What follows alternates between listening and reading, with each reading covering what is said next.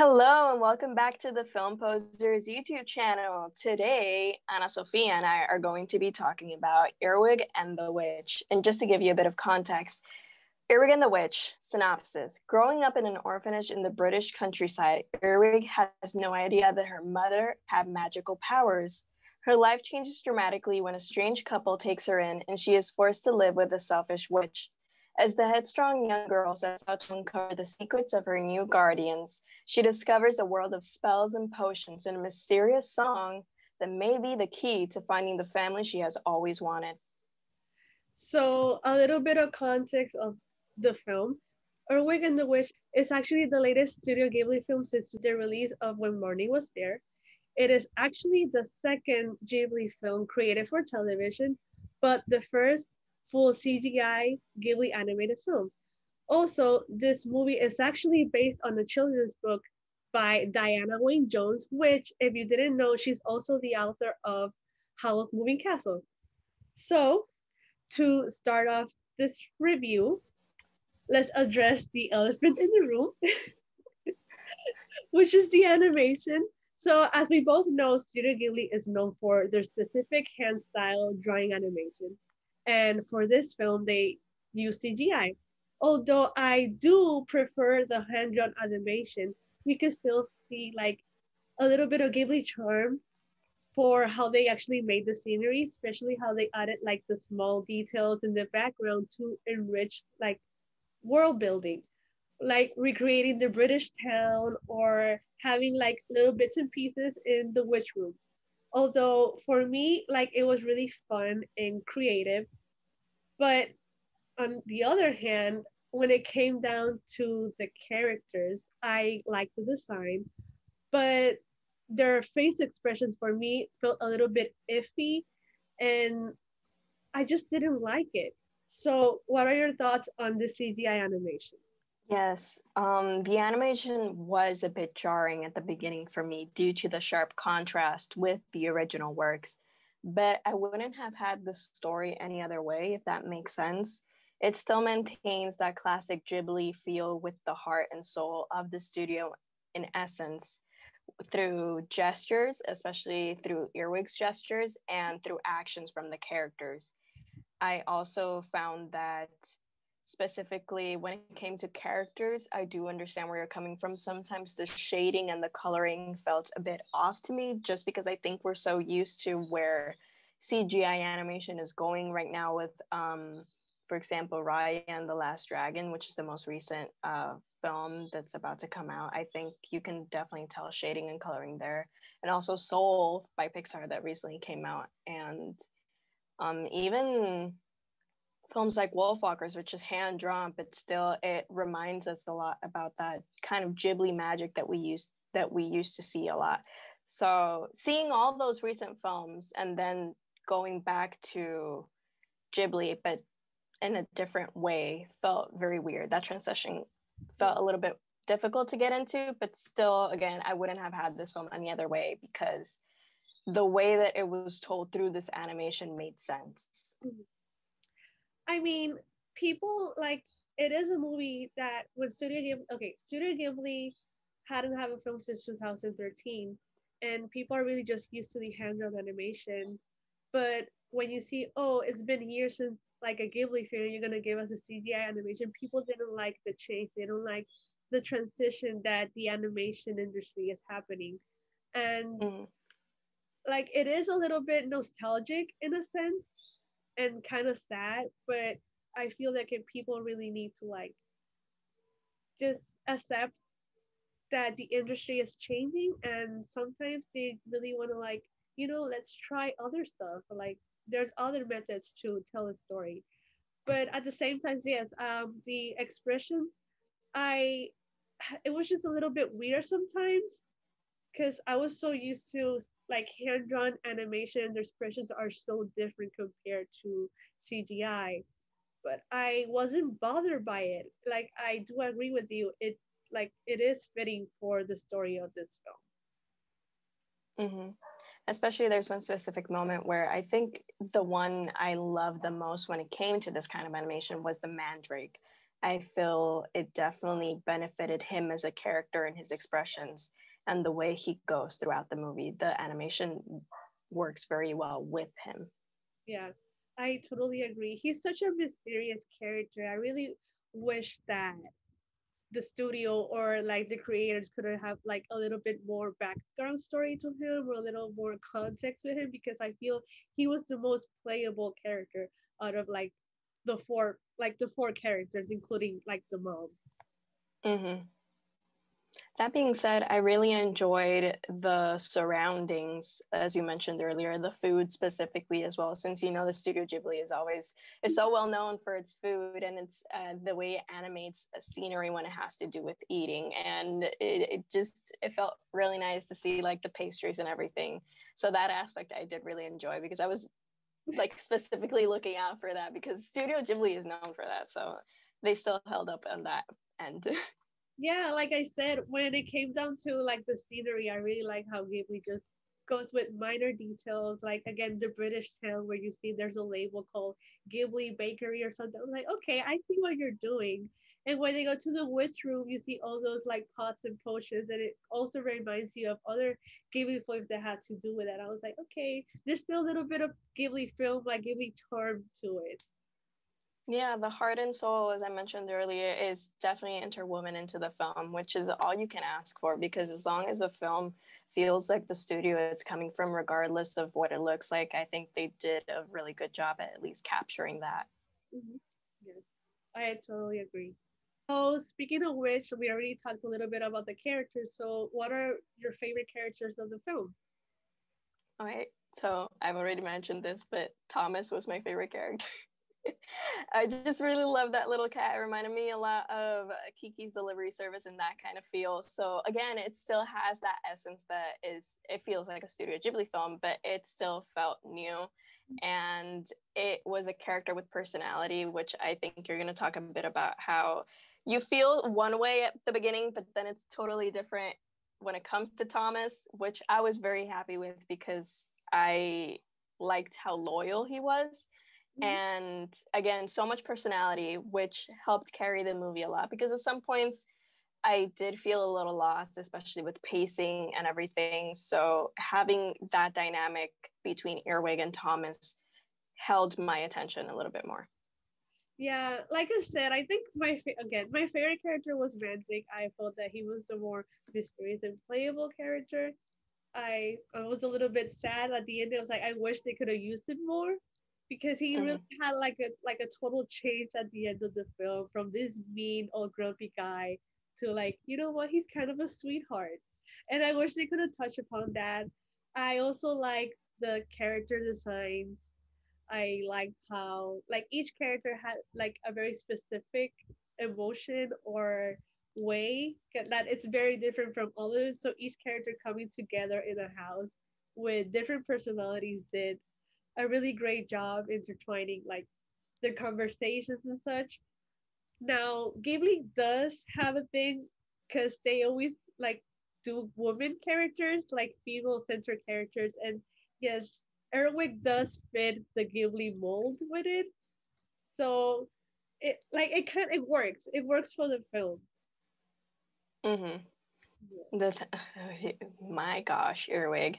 She was like we were talking about this earlier, she was bossy and she was very controlling. And it is a bit charming, but in the end, I found it very interesting how she remains a static character. She doesn't really change, she just gets her way in the end. And it was very interesting to see in contrast to films like Spirited Away, where there is clearly a change from beginning to end. You do see how the character evolves. So I found that very interesting when we went into Earwig. Yeah, because if you think about it, like the secondary characters are the ones that change. The witch and Mandrake and Thomas changed, but she's the only static character. She entered like the house like I want to be bossy. I want to take charge. And end the film like yes, she's already in charge of everyone. So I thought it was like interesting how mm-hmm. everybody changed except her. But that was a good point. That's a good point you bring up that the fact that she, she might not change, but everyone around her does, which is a job well done when it comes to storytelling. because the mandrake goes from this grumpy guy to he's still kind of grumpy but he he like he has a soft center then Baba Yaga is she's not as bossy of Earwig anymore as she was at the beginning then um, Custard manages to be a little less scared by visiting them, and Thomas is more willing to creep out of the shadows and not stay hiding all the time. well, definitely. And I wish that they would have shown a little bit more of their mother, because the mother, like, she has such an interesting character. Mm-hmm. She only was like five minutes into like the whole film, but I was like, I want to know more about her. I want to know her backstory. I want to know why she was being persecuted by 12 other witches. I was like, that's interesting. I wish they could have like, at least like do something more with her character. Yeah. I wanted to see more of her just because there's also we do get a little bit of backstory so we don't see her in present day, but we do get to know what's happening with her, which for a moment I thought she was gone. I thought she had passed, and I'm not going to get into how the film ends. But for the longest time, I was like, is this going to turn very sad? but no, it's a very uplifting film that I think it's like it's a charming story full of fun and laughs that would be perfect for a family viewing. So I do commend it on that point specifically going back to the mother again their backstory was very interesting because she is interwoven with the mandrake and baba yaga. And like i love that little tr- love triangle that was hinted there. Definitely. Like well for me it felt that of course we gotta like remind ourselves that the movie is based on the children's book and it's mm-hmm. also a televised film which is for family. So i feel that's why it was like it is perfect for everyone in a sense. But mm-hmm. at the same time, I felt that children are gonna see Earwig and they're gonna be like, mm, she's bossy. I also want to be bossy, you know? she gets her way. She gets, she gets her way in the end. she does, yeah. And again, going back to like the little love triangle again, I wish they could have like we could have seen more of the band, more of their relationship. Why are like mm-hmm. these people are best friends? Why are they together? Apparently, like they were like a small little coven that they had their own rock band. I was like, this is interesting. Like just seeing like three minutes of a backstory of them together. I was like, you know what? I kind of see more of this than the actual stories. Absolutely, especially that flashback moment where we get to see everything that happened between them and not everything because we I still feel like there's more that we're not seeing. It gave me very um if people know about this Daisy Jones and the Six vibes, it's going to get adapted. I it gave me those vibes. If you know, you know. And I wanted more of that. especially because again the mandrake you see him so serious and he's this writer but then he was always also this rock musician and you're like sir you have a past that i really want to know more about. Yeah like like again mandrake he he was a writer and it's kind of funny how Earwig was like oh i, want to read your stuff but she actually was like this is horrible you know? Yeah. And, he, and he gained success telling like their story. I was like, you know what? Just you do you, honey, okay? but it's kind of funny because Earwig was the one who like controlled him to be this way. Yeah. she was like, um, I love that story you wrote. That's basically my idea. yes. Now that little girl. what are your thoughts on the song? Because like like in the film there was a certain song that kept reappearing throughout the whole film. Mm-hmm. So we listened to different versions. I saw the dubbed version of the film, so I heard the Kacey Musgraves version of the song, and I liked it. It's the same one that's in the trailer. So it, it if you've seen the trailer and you've heard the song, and it was very I liked how it went from one point, how they used it in the story because it wasn't just inserted randomly. First, Earwig listens to it, and then when the others listen to it, it is what evokes all these feelings and the flashbacks. So it's definitely a very good narrative tool in the film, and I like that it wasn't just a random tidbit that was just thrown in there. Yeah, definitely. I really like how they use the song to keep reappearing, to keep like, oh, let's go to a little bit of flashbacks. When Mandrake enters the room and he hears the song, it's like totally like, oh, the character starts to change, and I like how they intertwine it with the story. Mm-hmm. I mean, he man got his heart broken. Yeah. he definitely did. I was like, what is this love triangle? Like, like, oh my god. it's wild. I need to know that story. I, I keep saying it. I want to be in the shadows. like I need to know like so who who is the who is Earwig's dad? Because like think about it. If it's only like three of them, was like, is Mandrake his father? Like we never got to see what happens, and I really didn't like it. Now this is a really good transition to talk about the ending. Like, what are your thoughts about the ending? Like for me, it like so I was watching the film and I was like, okay, let's see the hour one hour has passed by. There's only like 15 minutes left of the whole film. It's like, what's happening? Like, where, how mm-hmm. is gonna end? And when it ended, it just felt really abrupt, really rushed. And but at the same time, get like they do stick with the source. And if you like, it is a children's book, and the author died before finishing the book, so. I thought like okay let's it's a pa- like like let's pass it but at the same time I wish they could have like done something of their own.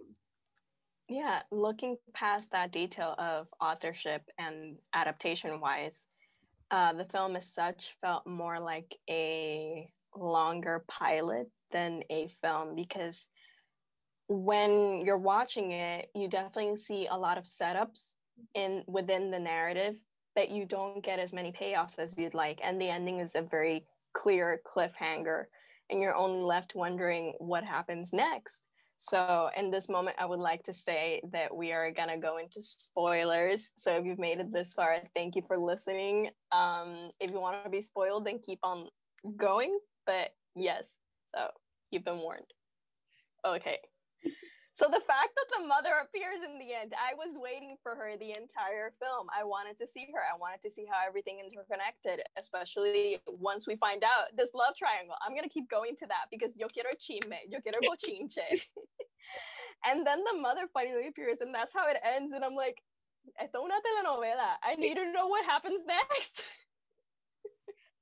See, I was like, ma'am, how is it that you appeared? They were all finally happy. They moved past because it was a trauma for Baba Yaga and for like Mandrake to like they like she broke her little coven. They broke like her dreams because also the band broke down. I was like, ma'am, you come back, and they were already happy.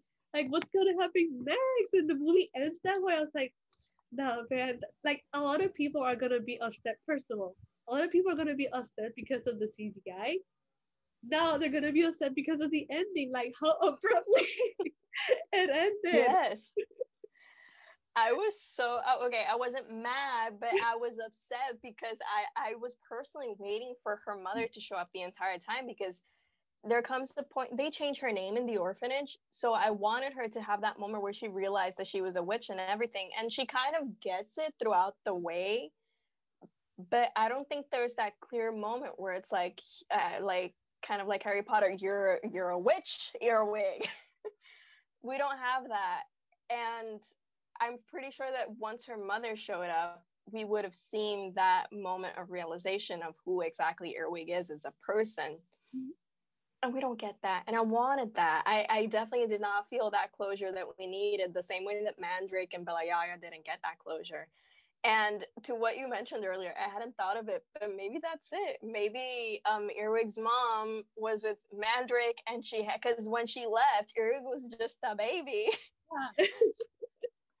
so ahí pasó algo. yeah, and then like again, spoiler territory. When they were doing, when she was like, you know what, I'm done with this band. I'm done with this little comment. Like there was like a like a momentary flashback where like the mother and Mandrake they were a little bit like you know romantic together. So like, excuse me.